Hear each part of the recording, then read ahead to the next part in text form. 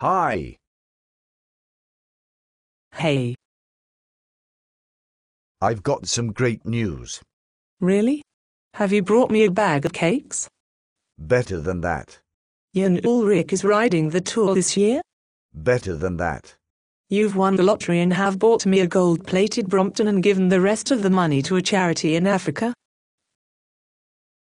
Not as good as that, I'm afraid. But nearly.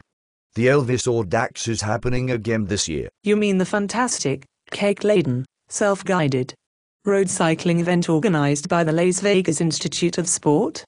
That's it. Yippee! That is good news. When? Where? How? It's on the 27th of March. And there's routes over 100k or 200k, taking in some fine west countryside. It starts from Long Ashton near Bristol, Ooh,